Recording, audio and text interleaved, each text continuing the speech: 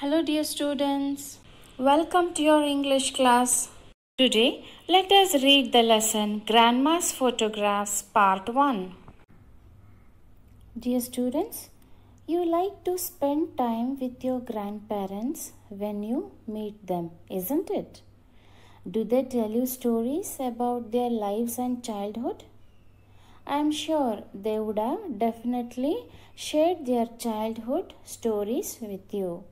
So, today let us read a story about a grandmother who shared her childhood story with her granddaughter Lalita. Students, before we start to read the story, let us learn some new words. The first word is impatiently. I M P A T I E N T L Y.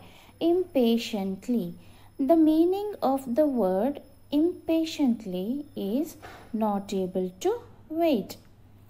Dear students, please observe this picture carefully. The girl is waiting impatiently for someone. The second word is heart raced. H E A R T heart R A C E D raced. Heart raised. The meaning of the word heart raised is the heartbeat was faster. Now, let us use the word heart raised in a sentence. My heart raced when I saw a tiger.